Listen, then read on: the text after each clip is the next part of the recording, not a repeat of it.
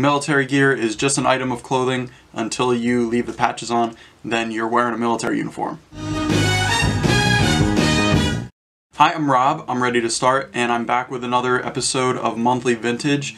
You know how it goes. I'm going to be talking about a vintage piece of clothing, a thrifted item of clothing, and then talk about something cool that's not clothing related at all.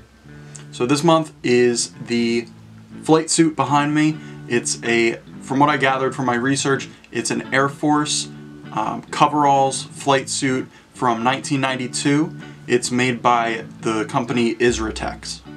So as you can see on this piece, it has uh, Velcro spots for patches to be put on it.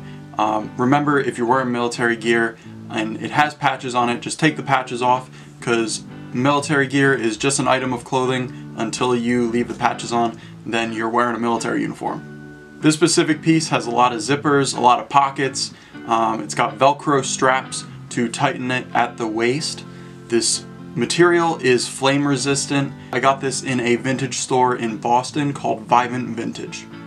This isn't something I wear a lot, but I do like to wear it every once in a while. Um, I like to style it either just by wearing the flight suit by itself uh, to make that's more of a statement for sure you could wear it zipped up and fully embrace the military look, or you could even uh, take the shoulders off and wrap the sleeves around your waist for more of a casual look.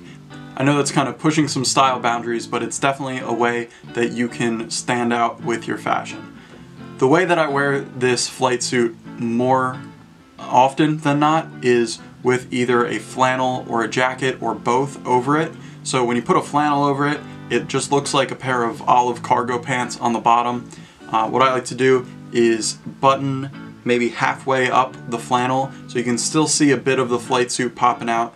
This is great for if you want to stay warm um, and you just want to wear a shirt and a jacket but that's not warm enough so you throw on a flight suit underneath.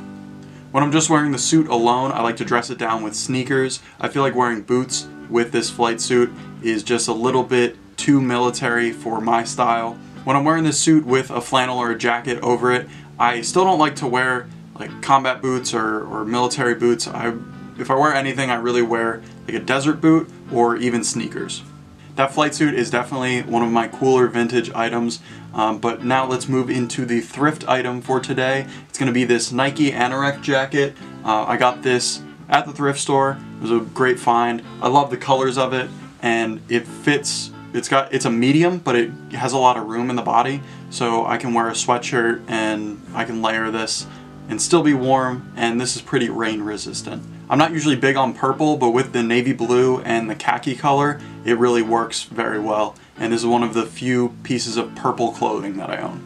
As you know, I like to finish these videos out by showing you something cool that's not clothing related at all. This month's item is a bottle uh, specifically this empty bottle of 1998 Dom Perignon champagne. My parents picked this up decades ago and one day pulled it out of the closet. I forget what we were celebrating, but we were celebrating something and we cracked this bottle open and when we were done with it, um, they were to throw it out, but it's my birth year, so I said, don't throw that out, I'll keep that. So this is a keepsake that I've had and a decoration in my room. That's going to do it for this episode of Monthly Vintage, episode 3, I believe. Uh, stay tuned for the next one. Check out the old episodes if you haven't already. Uh, subscribe to my channel, and I'll see you in the next one.